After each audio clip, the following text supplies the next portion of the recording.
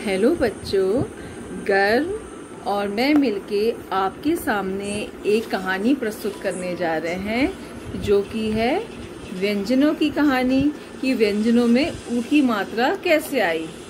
तो कहानी शुरू करते हैं। बच्चों, एक घर था।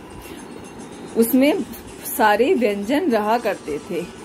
मम्मी, पापा, चाचा, ताऊ, बुआ, फूफा, जितने भी व्यंजन थे, सब एक साथ रहते थे। तो जो का व्यंजन था, वो थी मम्मी और खा व्यंजन था, वो थे पापा। और सब मतलब फा, बाला, ये सब थे बच्चे। तो मम्मी, पापा ने बच्चों से कहा कि कोई भी बाहर नहीं जाएगा हमसे पूछे बिना। अगर तुम लोग बाहर जाओगे तो बाहर जाना तुम्हारे लिए खतरा है। तो और सबने तो अपने मम्मी पापा की बात मानी, लेकिन जो ला व्यंजन था, उसने मम्मी पापा की बात नहीं मानी। और वो अपने घर से बाहर निकल गया। बाहर निकल के वो चलते चलते जंगल के बीच में आ गया। यहाँ एक घना जंगल था। वह रास्ता भटक गया। उसे डर लग गया कि अब मैं कहाँ जाऊँ। तो वो ज़ोर ज़ोर से रोने लगा। रात भी हो गई थी। उसे डर भी लगने लगा। तो उस, उसने रोना शुरू कर दिया।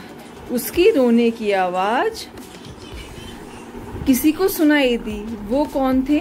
वो थे स्वर। एक पेड़ में स्वर रहा करते थे। तो उसकी रोने की आवाज़ ऊ नांग के स्वर ने ला की रोने की आवाज़ सुनी। तो उसने ला व्यंजन से कहा, तुम डरो मत। मेरे पास बहुत लंबी पूछ है। उसने कहा, मेरे पास बहुत लंबी पूछ है और मैं अपनी इस पूछ को नीचे ऐसे करके फेंकता हूँ। तुम इस पे चढ़ो और मेरे पास ऊपर आ जाओ। तो ला व्यंजन बहुत खुश हुआ। उसने कहा अच्छा वह उसने पूछ पकड़ी और चढ़ते हुए वह ऊ के ऊ के पास, स्वर के पास पेड़ में बैठ गया। ऊने कहा कि तुम रात भर मेरे साथ रहो, हमारे साथ रहो और सुबह तुम वापस चला जाना। तो लाने ऊ अपनी पूंछ जो थी ला को दे दी। अब ऊने कहा, अब तुम ला नहीं हो, अब तुम लू हो। तो वह इस बात से बहुत खुश हुआ। जब सुबह सूरज उगा तो ला लू बनकर अपने घर गया। तो अब वो ला नहीं, वो क्या हो चुका था? लू।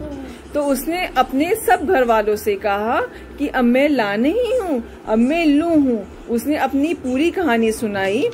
और उसने बताया कि ऊ ने अपनी पूछ मुझे दे दी और मुझे लू बना दिया। इससे घर के सभी लोग तो बहुत खुश हुए। उन सबने ऊ की मात्रा ले ली। तो का कु बन गया खा खू बन गया गा गु बन गया चा चू बन गया। लेकिन जो रा व्यंजन था, वो बहुत नक चढ़ा था। उसने कहा, नहीं मैं तो नहीं लूँगा पूछ। उसने कहा, अगर लूँगा भी तो मैं अपने नीचे पूछ नहीं लगाऊँगा। उसने कहा, मैं तो अपनी पूट अपनी पीठ पे पूछ लगाऊँगा। तो बच्चों, जो ऊ की मात्रा होती है सारे व्यंजनों में तो नीचे लगती है और रा ऐसा व्यंजन है, जिसमें ऊ की मात्रा हमेशा उसके पीठ में लगती है। तो बच्चों, बताओ, आपको ऊ की मात्रा की कहानी कैसी लगी? अगर अच्छी लगी तो मुझे कमेंट में ज़रूर बताना। तो अगली कहानी तक के लिए बाय बाय